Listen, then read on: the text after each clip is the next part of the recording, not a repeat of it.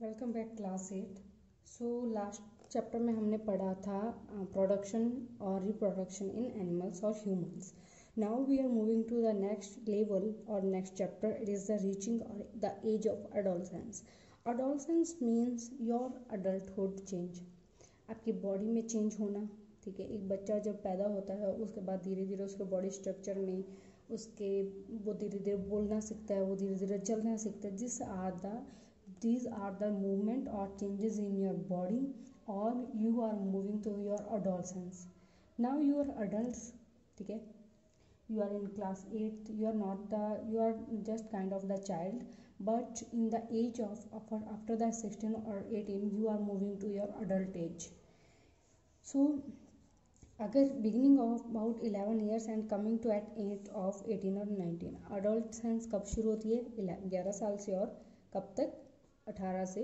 19 साल। So now you are in in your adult age so what is adolescence and adolescence age adolescence age होती है, हमारा period होता है जहाँ पर हमारी बॉडी में और इंटरनल और एक्सटर्नल चेंजेस होते हैं बहुत ज़्यादा। हमारे हार्मोन्स में, ठीक है अलग अलग तरह के चेंजेस होते हैं, चाहे बॉयज़ हो, चाहे गर्ल्स हो, सब में चेंजेस होते हैं। ठीक है? बॉयज़ में स्पम बनना शुरू होते हैं धीरे धीरे और गर्ल्स में धीरे धीरे ऑवरीज जो कि एग बनाना शुरू करती है। इसके अलावा आपकी एज मोस्टली 11 ईयर से स्टार्ट होती है और 18 से 19 साल तक रहती है। कौन सी? अडोलसेंस एज जहाँ तक आपके वो चेंजेस होते हैं। What is the puberty puberty मतलब आपकी बॉडी में वो ग्रोथ होना मतलब आपकी बॉडी इंटर बॉडी के इंटरनल पार्ट्स में वो चेंजेस होना। क्या कहलाती है? प्यूबेरिटी प्यूबेरिटी कब एंड होती है? जब आपकी बॉडी एक अडोलसेंस एज में, यानी एक मैच्योरिटी में पहुँच जाती है। Like as us we are teachers and we are already mature so हमारी बॉडी में जो चेंजेस हुए हैं, वो एक लेवल तक पहुँच चुके हैं। कम्प्लीटली चेंजेस हो चुके हैं। आपकी हाइट बढ़ना, आपकी जैसे हाइट टॉल और लैंकी होना girls usually grow faster than the boys about the age of eighteen ठीक है? गर्ल्स का अगर ग्रोथ बढ़नी है तो क्या होगा? जल्दी बढ़ेगी, लड़कों के बजाय, ठीक है? इसके अलावा गर्ल्स में जो इंक्रीज़ होता है, वो जो चेंजेस होते हैं, वो एटीन ईयर्स तक कम्प्लीटली चेंजेस हो जाते हैं। और इट इज़ नॉन एज कि अगर एज बढ़नी है तो एटीन और सिक्सटीन ईयर एटीन और ट्वेंटी ईयर्स तक आपकी एज बढ़ती है, उसके बाद क्या होती है? एज बढ़ना रुक जाती है। सॉरी एज नहीं इट्स योर हाइट आठ साल में सेवेंटी सेवन सेवेंटी टू होती है और गर्ल्स में ये सेवेंटी सेवन होती है। ये आपकी एज चार्ट है। मतलब आपकी इस एज में इतनी इतनी आपकी परसेंटेज बढ़ती है। हाइट सो मैक्सिमम हाइट का परसेंटेज कैसे निकाल सकते हो? जैसे percentage of height in upon percentage of maximum height at it age तो आप अपनी मैक्सिमम हाइट निकाल सकते हो। ठीक है? लाइक एज अगर वन ट्वेंटी है परसेंटेज हाइट का सेंटीमीटर में, और मैक्सिमम हाइट एज कितनी है? सेवेंटी टू परसेंट तो मतलब आपकी हाइट कितनी है? One sixty six point six centimetre होनी चाहिए। ठीक है? और ये क्या है? ग्रोथ चार्ट है। ठीक है? चेंजेस बॉडी शेप में भी होते हैं। बॉयज़ में मस्कुलर होना शुरू हो जाते हैं, उनके शोल्डर बढ़ना शुरू हो जाते हैं।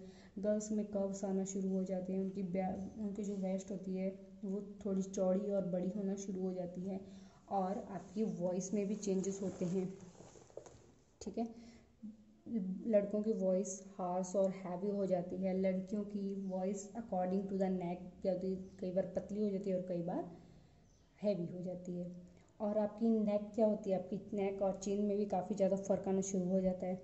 आपकी जो नेक के नीचे और आपकी गर्दन पर इस तरीके की अगर शेप बिन, बन जाती है that means your become an Adam apple and it becomes आपकी वॉइस का जो लेवल है वो कम्प्लीटली बढ़ चुका है। इससे ज़्यादा आपकी वॉइस में कोई चेंज नहीं होगा। Increase in activity of sweat and oil glands आपके जो ऑयल ग्लैंड्स हैं, यानी आपके जो अंदर पोर्स हैं, वो क्या होता है इंक्रीज होता है। यंग गर्ल्स में और बॉयज़ में ज़्यादा होते हैं, तभी तो आपके फेस पर वो पिंपल आना शुरू हो जाते हैं। आपकी इसी एज में क्या होता है पिंपल्स आना शुरू होते हैं। बिकॉज़ इसी एज में आपके जो पोर्स होते हैं और वो धीरे धीरे क्या होते हैं, सिकुड़ना शुरू हो जाते हैं। इमोशनल एक्सेप्ट आपके क्या होता है बॉडी चेंजेस होती है, जिसकी वजह से बॉयज़ और गर्ल्स इनसिक्योर और सेंसिटिव फील करते हैं, क्योंकि उनका बॉडी चेंजेस हो रहा होता है और वो इंटरेस्ट गेन करते हैं अट्रैक्ट होते हैं opposite sex like as girls boys की तरफ़ और बॉयज़ गर्ल्स की तरफ़। It's natural but you have to concentrate on your studies mental and intellectual development भी होती है, आपका दिमाग का पावर लेवल चेंज होता है, आपका थिंकिंग लेवल चेंज होता है, आप इंडिपेंडेंटली सोचना शुरू कर देते हो। आपको ट्यूशन की ज़रूरत पड़ती है, लेकिन आप उस चीज़ को समझना शुरू कर देते हो।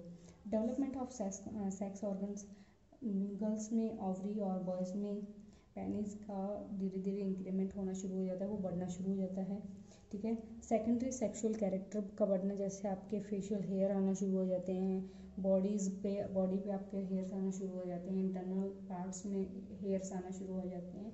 तो ये क्या है आपका सेकेंडरी डेवलपमेंट है सेक्सुअल कैरेक्टर्स का। इसके अलावा सेक्सुअल मैच्योरिटी मेच्योरिटी भी आना शुरू हो जाती है, जिसको सेकेंडरी लेवल में ही कंप्लीट किया जाता है। और ये चेंजेस आपके अडोलसेंस में कंप्लीट हो जाते हैं।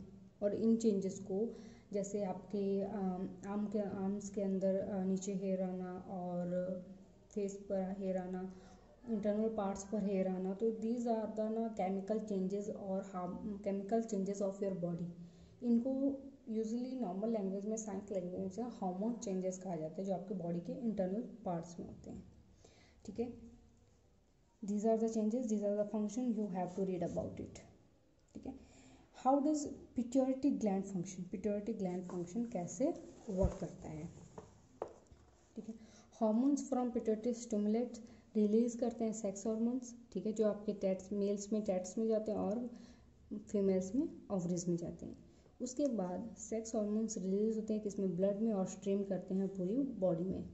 स्टिमुलेट चेंजेस पूरी बॉडी में आपको शो होते हैं onset of poverty puberty hormones and then the sex hormones ठीक है। When a person has a very big and bulging throat यहाँ अगर आप देखते हो कि बहुत बड़ा थ्रॉट है, मोटा है तो a disease due to deficiency of hormone thyroid produce the thyroid gland कई बार यहाँ पर जो आपके गले के बिल्कुल नीचे क्या होता है कि ये धीरे धीरे बढ़ना शुरू हो जाता है मीन्स आपकी जो थायराइड ग्रंथि है, जो थायरोक्साइन है, जो थायरोक्साइन है, वो क्या हो रहा है धीरे धीरे बढ़ रही है। ठीक है? तो इससे क्या this is means you have a thyroid you have a disease that is called thyroid एक पर्सन जब शुगर की प्रॉब्लम होती है, यानी उसको क्या होता है मधुमेह शुगर होता है, तब उसका पेंसरिया प्रोड्यूस नहीं हो पाता है और मतलब उसके अंदर इंसुलिन का इंसुलिन हार्मोन नहीं बन पाता है। इसीलिए जिसको शुगर होती है, उसको इंसुलिन का इंजेक्शन दिया जाता है। इसके अलावा what is happen in case of insect और फ्रॉग ये तो ह्यूमंस के बारे में था इंसेक्ट्स और फ्रॉक्स में क्या होता है? इंसेक्ट्स में क्या होता है? मेटामॉर्फिन्स कंट्रोल करता है इंसेक्ट्स के हार्मोन्स को, ठीक है? और it control by thyroxine hormones इसमें, इनमें भी थायरोक्सिन हार्मोन होता है, यानी थायरोक्सिन ग्रंथि होती है। जिसमें प्रेजेंट होता है आयोडीन प्रेजेंट होता है पानी में, और जो कि प्रोड्यूस करता है थायरोक्सिन थायरोक्सिन हार्मोन है जो कि थायराइड ग्रंथि में होता है, ठीक है? ये अगर ज़्यादा कंटेंट आयोडीन कंटेंट नहीं कर पाता है तो क्या होता है? टेडपोल्स इसकी इसकी जगह अपनी जगह ले लेते हैं और धीरे धीरे उनमें भी क्या होता है? डिज़ीज़ आना शुरू हो जाती हैं। You can read this chapter sorry read this table gland pituitary thyroid adrenal और पेंसिल यह सभी हमारी बॉडी में ग्रंथियाँ होती है। किस कौन कौन सा हार्मोन रिलीज़ करती हैं और इनका क्या फ़ंक्शन है? ठीक है? So reproduction phase in humans humans में रिप्रोडक्शन फ़ेज़ होता है ज़्यादातर, आप कह सकते हो कि the reproduction gametes last longer for बहुत ज़्यादा टाइम तक मेल्स और फीमेल्स में रहते हैं, लेकिन mainly age forty five to fifty years की एज तक रहते हैं। इसके बाद ये धीरे धीरे क्या होते हैं वीक होना, ये जेमेट्स वीक होना शुरू हो जाते हैं। और आपकी जो अगर मेल जैमेट्स होते हैं मेल स्पम्स होता है, वो फीमेल ऑवरी में चला गया तो उसके वॉल पर वो स्टिक नहीं हो पाएँगे, यानी एक एग को फर्टाइल नहीं कर पाएँगे। क्योंकि उस टाइम पर आपका ब्लड क्या होता है ब्लड वेसल्स क्या होती है, कमज़ोर हो जाती हैं और इजीली वो चीज़ें सर्कुलेट नहीं हो पाती हैं। The first menstruation flows begin age a puberty is called menarche menstruation it is a process in the female body that's the um, you can say the blood is coming out from the female body that is called the menstruation इसका एक cycle होता है menstruation cycle होता है a uh, important part to, to fertile the egg एक egg uh, fertile करने के लिए बहुत इंपॉर्टेंट पार्ट है और 40 टू 50 इयर्स के बाद में ये क्या होता है मैंसुरेशन का साइकिल स्टॉप हो जाता है this means calls menopause what determine sex of a baby एक बेबी का सेक्स कौन डिसाइड करता है? मतलब वो बच्चा, लड़का है या लड़की है? इसमें मेल और फीमेल्स के इंडिविजुअली उनके जैमेट्स होते हैं। टोटल ट्वेंटी सिक्स पेयर्स बनते हैं। क्रोमोसोम्स के और यही ट्वेंटी सिक्स पेयर्स इनमें से twenty two pairs chromosomes similar होते हैं। जो एक single third twenty third pair होता है, वो थोड़ा डिफरेंट होता है। That is called sex chromosome ठीक है? फीमेल बॉडी में क्रोमोसोम 22 प्लस एक्स एक्स का पेयर बनता है और मेल में 22 प्लस एक्स वाई का पेयर बनता है। इसमें एक्स क्रोमोसोम्स और वाई क्रोमोसोम्स होते हैं। फीमेल प्रोड्यूस करता है ओवोपोजिस को, यानी एक्स क्रोमोसोम्स को, और वहीं पर मेल दो तरीके के करता है। हाफ़ यानी एक्स क्रोमोसोम और हाफ़ वाई हाफ़ एक्स और हाफ़ वाई ठीक है, मेल में हाफ़ एक्स हो गया और हाफ़ वाई हो गया। फीमेल में दो एक्स होते हैं, दोनों ही क्या होते हैं? एक्सेस में ब्रेक डाउन होते हैं। आप ये टेबल देख सकते हो जैसे एक्स हैं एक्स और एक्स है। और ये स्पम है, ये फीमेल का है और ये मेल का है, ठीक है? You couldn't understand my handwriting but please concentrate on it अगर एक्स का एक्स के साथ रिएक्शन हो जाएगा तो डबल एक्स बनेंगे फर्टाइल अटैक होगा मतलब सेक्स ऑफ़ चाइल्ड क्या होगा? फीमेल क्योंकि फीमेल में एक्स एक्स होता है। अगर एक्स का वाई के साथ रिएक्शन होगा तो वो एक्स वाई बन जाएगा और वो क्या होगा? मेल ठीक है? एक्स और एक्स का हो गया तो X X become a girl X और वाई का हो गया तो बिकम्स अ बॉय हेल्थ में भी इसी तरीके से प्रोसेस होता है. मीन्स अगर पेरेंटल कुछ डिज़ीज़ हैं तो वो बच्चे में भी डेफिनेटली होंगी.